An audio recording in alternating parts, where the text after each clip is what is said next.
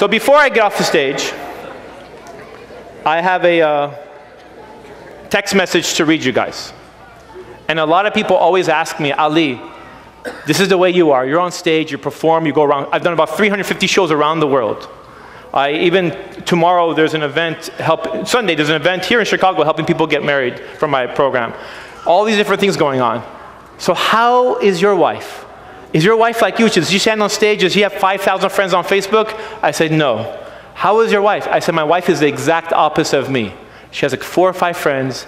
She's very close to them. She's very quiet, very reserved.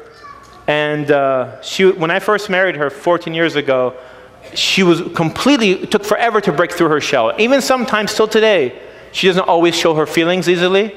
So I have to know, as a husband, when to be Baba Ali, the comedian, and when to be Ali, the supportive husband. Because, sisters, I'm telling the brothers the message. Sometimes we joke around so much we don't know when to take things seriously. So my wife sent me a message, a text message, and she said, Ali, I just want to let you know that me and the kids appreciate everything you do.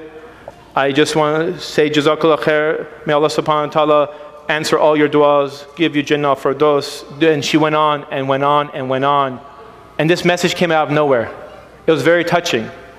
Sister, can you think what I responded immediately with three words. You know what those three words were? It was not I love you. It was, who is this?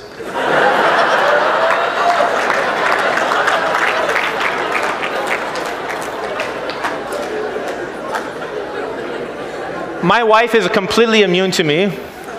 She didn't even respond. She knows I'm joking.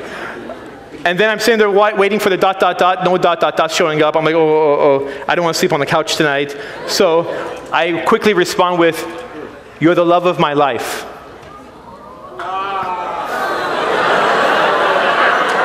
They still can't do it.